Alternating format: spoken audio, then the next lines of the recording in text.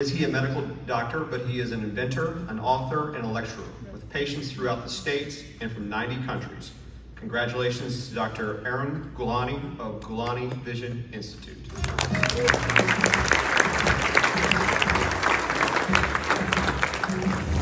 The most gratifying part is making somebody see. And in my case, I'm making them see beyond 2020. That's my passion.